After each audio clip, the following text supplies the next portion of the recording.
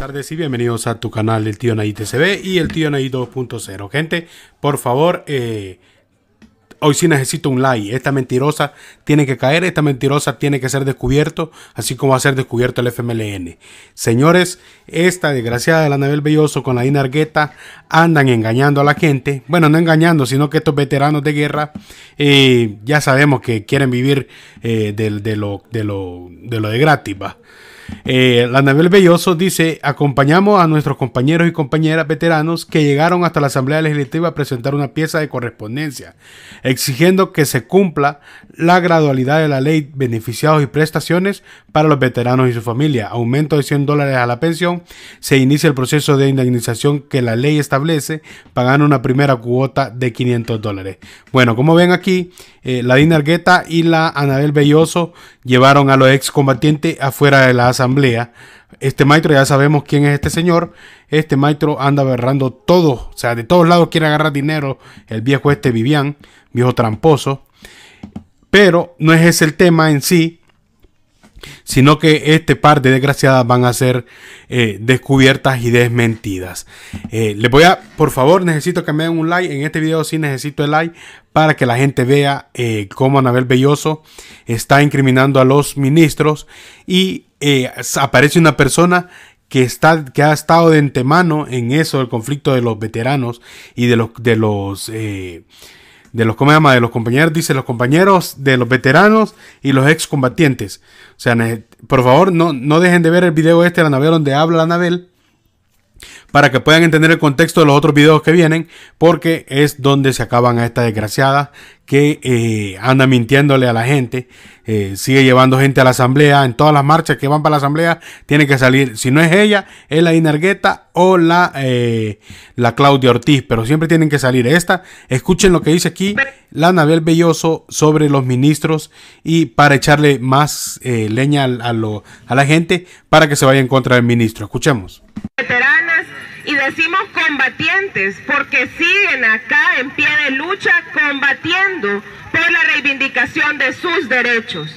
Quiero también sumarme al reconocimiento a esos años de su vida entregados por la transformación de nuestro país, para abrir las puertas al proceso democrático que venía transitando El Salvador y que hoy por hoy sufre graves retrocesos en materia democrática y en materia de violación de derechos humanos.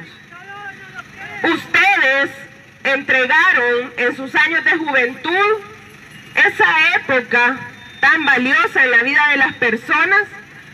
Sí, tan valiosa en la vida de las personas en la que ellos engañaron para que fueran a pelear para ellos. ¿Para qué? Para que al final terminaran eh, con, con, arena juntitos.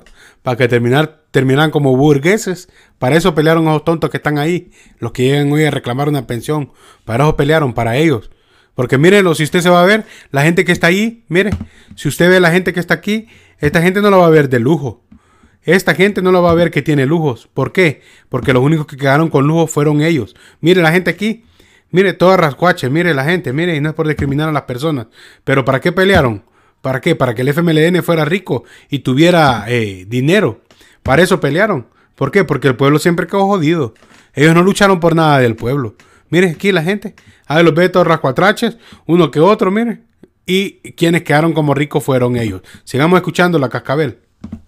A una lucha por transformar la realidad del Salvador quienes hemos crecido después de la firma de los acuerdos de paz y reconocemos la memoria histórica como parte fundamental de un país para no repetir la historia y no caer en esos mismos errores del pasado, valoramos su lucha.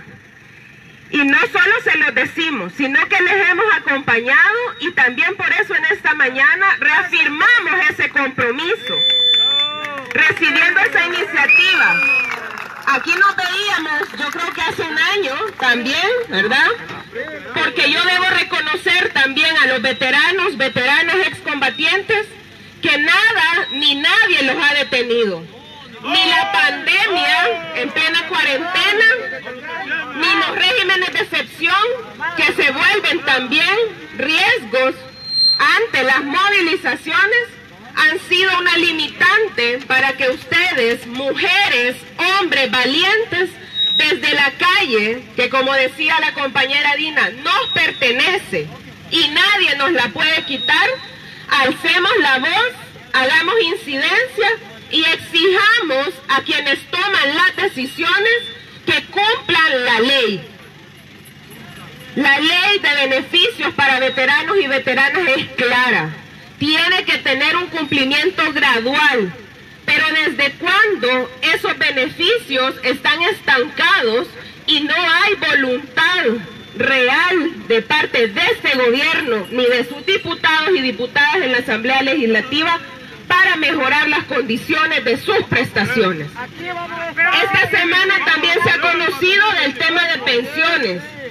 Pero no sé si ustedes escucharon las declaraciones del ministro. Oiga, aquí viene con la cizaña para el ministro de Hacienda, eh, echándole a la gente encima. Escuchemos, escuchemos. Ministro de Hacienda diciendo que a él no le parecía justo que se incorporara el tema de veteranos en esta discusión. ¿Y por qué no va a ser justo? Si son parte fundamental de la población, de los sectores vivos de nuestra población, que además ya tienen un respaldo de ley. En esa discusión lo que debería hacerse no es en este momento, digamos, estar pensando que van a cambiar la ley, porque en esto que tenemos hoy configurado, cualquier cosa puede ser un retroceso en lugar de un avance. Lo que debe exigirse es que se cumpla lo que ya es una conquista, que no es un regalo, porque al final todos los derechos son una conquista y ustedes han luchado arduamente porque sean reconocidos. Es importante que sigan de esta forma, de manera organizada, de manera conjunta, exigiendo ante las instancias correspondientes el cumplimiento de esos beneficios.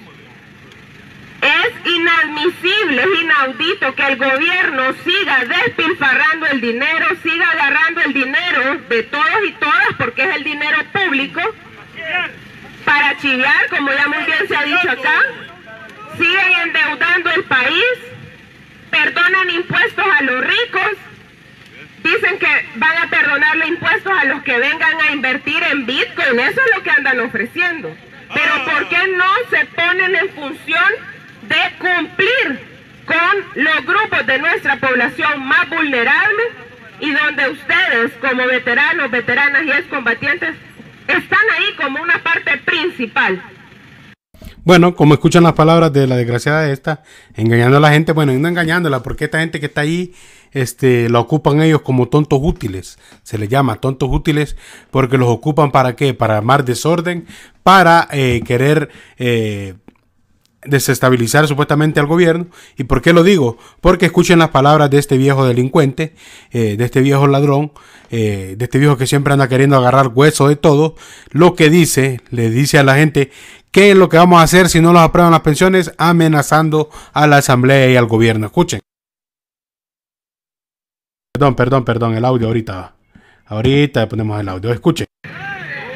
Y eso también es violación a la ley. Solo le pedimos que cumpla la ley, hombre. No le estamos pidiendo nada más. Presidente Bukele, cumpla la ley. Presidente Bukele. Presidente Bukele. Solo eso le pedimos. Que cumpla la ley.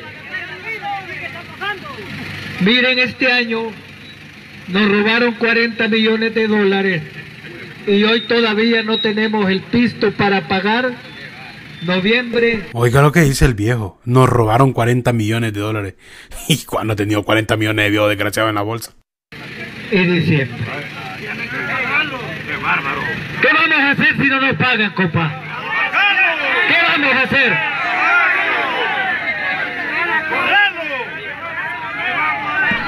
Escucharon lo que dice el hombre, va. ¿Qué vamos a hacer si no los pagan, compañeros? Quemarlos, dicen uno, sacarlos, que no sé qué. Esto lo que hacen ellos es calentarle la cabeza a la gente, a este tipo de gente tonta, que se la calentaron de jóvenes. O sea que estos viejos, estos eran jóvenes y eran pendejos, llegaron a viejos y también siguen de pendejos. Y hoy todavía no tenemos el pisto para pagar noviembre. Oiga al fondo lo que dice la gente cuando él dice, ¿qué vamos a hacer compañero? Oiga, oiga, por favor. Y diciembre. ¿Qué vamos a hacer si no nos pagan, compa? ¿Qué vamos a hacer?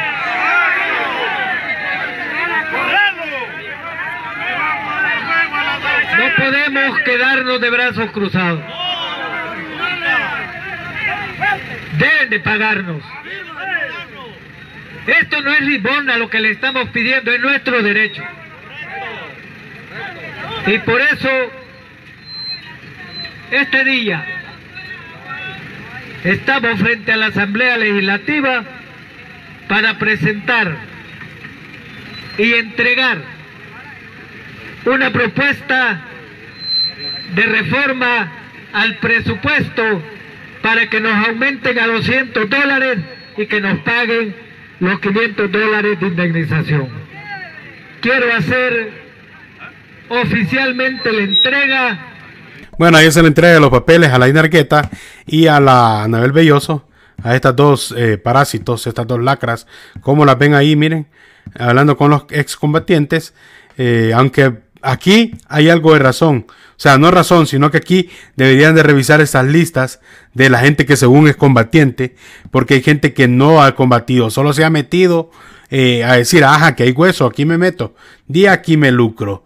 Aquí estas dos desgraciadas pirañas tienen que caer. Pero gente, aquí viene lo bueno y viene lo mejor de este video. Por favor, regálame tu like, que esto llegue a más gente, porque la gente tiene que saber lo que se va a decir ahorita.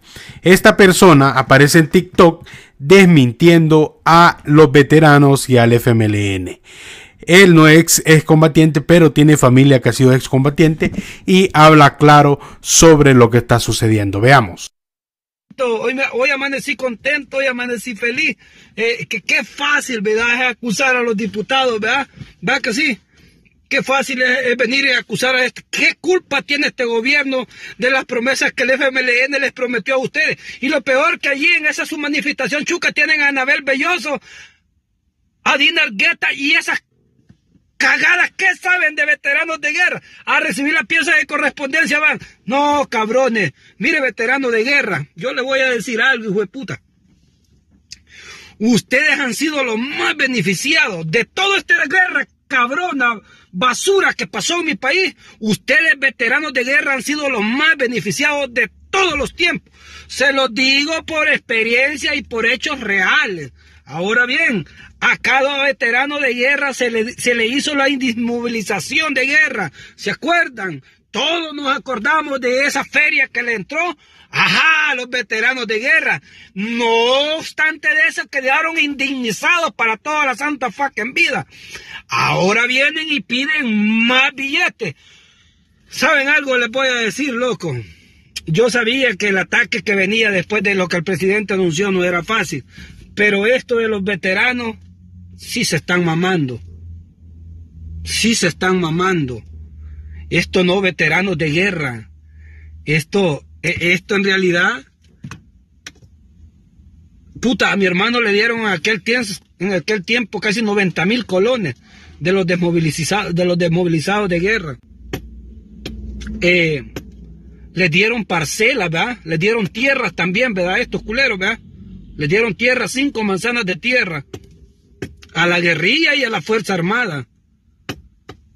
Muchos de esos las vendieron. Bueno, en el pleno 2022 no tienen absolutamente ni mierda. Lo que tienen es andarle pidiendo al gobierno todavía.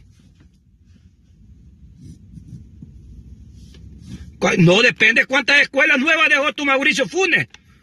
Depende, Gorgojito, cuántas escuelas nuevas dejó tu Mauricio Funes. Hablemos de las reformas de pensiones. Hablemos de las reformas que le dejó a los veteranos de guerra, al FMLN y a como ven, ahí lo dice. Y aquí viene la segunda parte que cada vez se va poniendo mejor. Sigamos viendo. Sigan viendo. Ya que tanto te la venís picando de San Virgo, ay, hablemos. Ey, Gorgojito, Gorgojito, vení para acá. Hablemos. Hablemos, este, Fidel Guevara. Hablemos de la reforma de pensiones que tu FMLN le dejó, culero. Hablemos de, la, de, la, de las promesas que le hizo a, los veteranos de guerra. ¿Por qué no hablamos de eso, pues? ¿Ah? ¿Por qué te me vas a adelantar ahorita? Pues te conviene la escuela, el aeropuerto, el satélite, el tren bala, te conviene, más. No, más, retrocedámoslo el tiempo atrás. Vengamos y hablamos de la reforma a la ley de pensiones, o se les ha olvidado eso. ¿Ah? Perdón, Fidel. Perdón. ¿Cómo me dijiste? ¿Cómo, cómo, cómo dijiste? ¿Cómo dijiste? ¿Ah?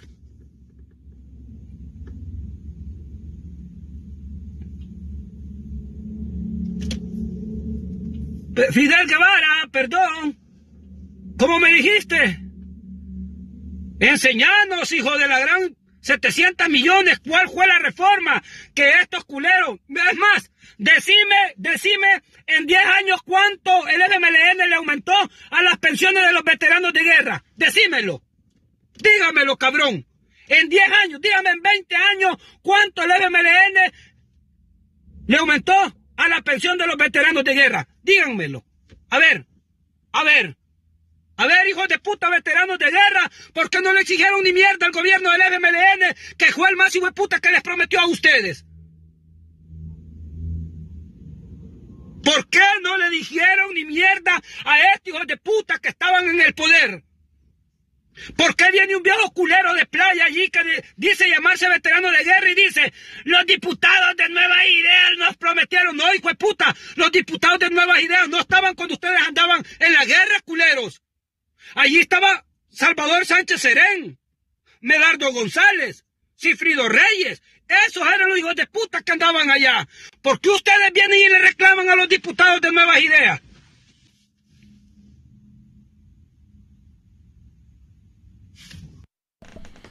Sigamos con la tercera parte porque tenemos varias partecitas.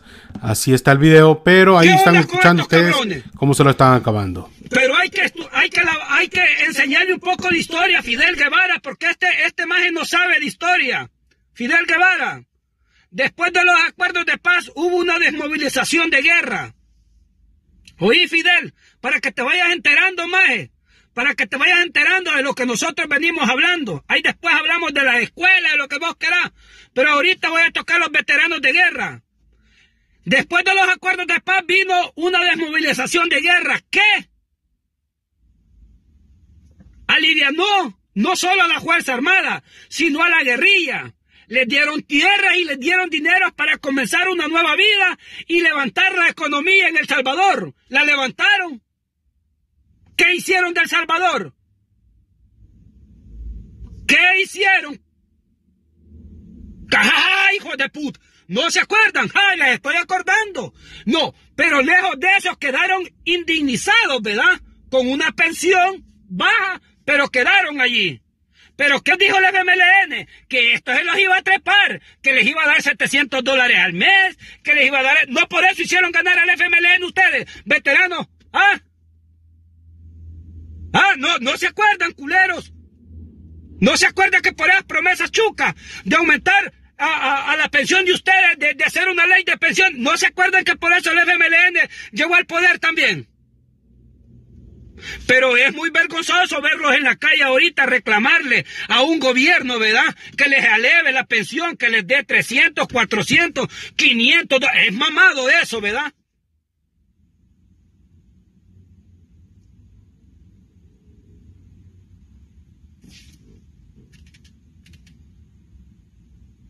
Me estoy equivocando. Díganle a los bichitos cascosos de 15 años, 16, 17 años que pertenecen al 3%, que vengan con el bicho 24-7 que les voy a enseñar qué son las putas realidades de la vida. ¿Qué es la mera verdad de la vida? A estas alturas, los veteranos de guerra le dieron estabilidad al país después de los acuerdos de paz. ¿Qué hicieron con todo ese billete, hijo de puta? Que el Estado... Sigue, señores. No se vaya, no se vaya, que esto se está poniendo más bueno. Cada vez se pone más bueno, les están dando por la cara a los gorgojos. Sigan viendo. Que el Estado salvadoreño, nuestros putos impuestos, nuestros malditos impuestos iban allí. ¿Qué lo hicieron?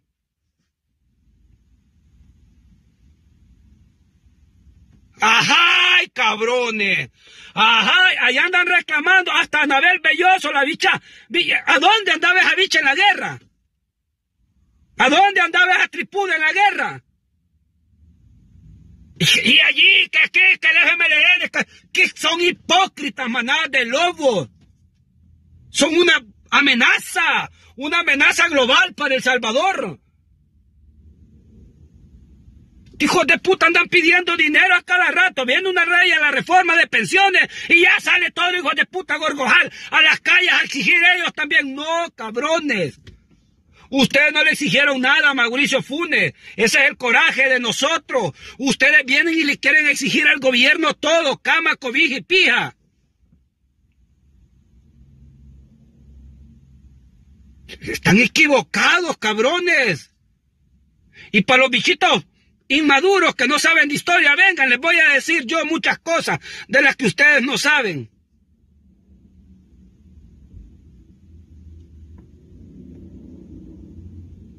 O sea, aquí, aquí la cuestión es que el abuso a la población salvadoreña. Aquí la cuestión es que cada centavo hijo de puta son nuestros impuestos también. E, esas son las verdades de la vida. Ahora dígame, ¿en qué nos beneficia la pensión a los, a, los, a los veteranos de guerra? Ahí no dicen ni mierda porque el frijol está caro, ¿verdad? ¿De dónde vamos a sacar para tantas putas pensiones? O sea, eso es puntilla aparte, pues. Puta, pero estos quieren solo porque vienen y, anuncian una ley a la reforma de pensiones para las personas putas que en verdad lo necesitan, vienen dos días, tres días después y salen los veteranos de guerra a exigirle al gobierno también que les aumente a coma mierda, relajen la dona, mae, relajen la dona. A la mierda van a mandar a piezas putas. Sigan viendo, sigan viendo que viene la otra parte, señores. Viene la quinta parte ya solo falta una parte más, pero sigan viendo dónde le están pegando la arrastrada a esa tripuda, dijo a la tripuda de la Anabel Belloso. Perder, muchos, no sean pendejos, no, le, no caigan en el juego.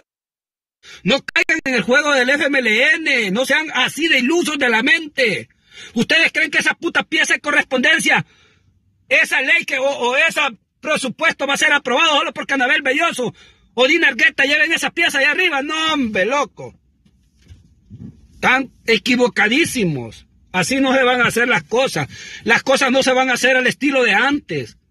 Las cosas se van a hacer como el gobierno del presidente Bukele, lo decida. Como el gobierno del presidente Bukele lo decida. No se va a hacer como ustedes quieran veteranos de guerra.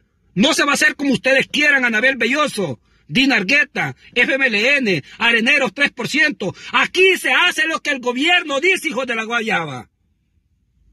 Ninguno de ustedes está por encima del gobierno. Ninguno de ustedes está por encima de los 56 diputados que el pueblo salvadoreño le puso en bandeja de plata al presidente para que no se fueran a pasar de verga.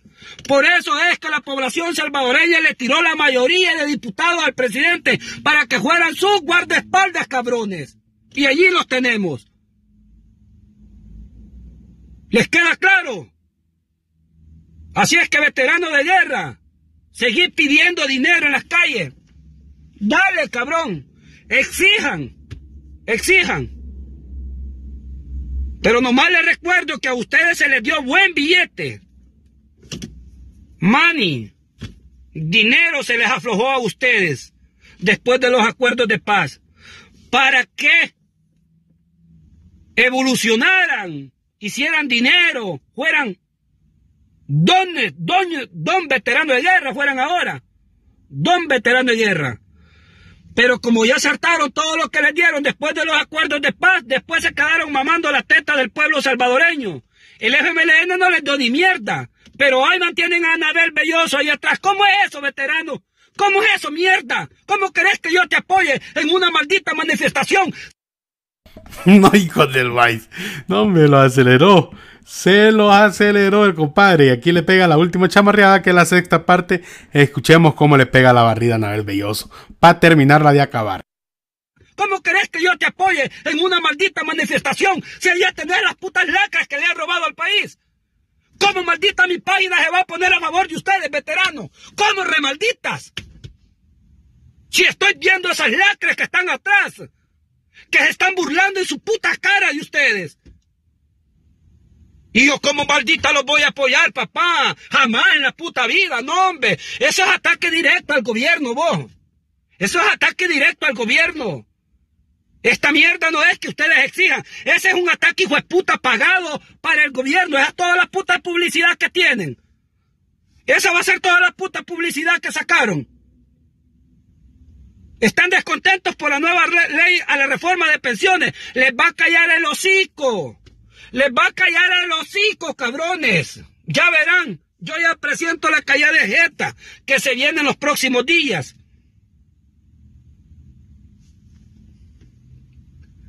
Tú y yo estamos de acuerdo con lo que el presidente está haciendo.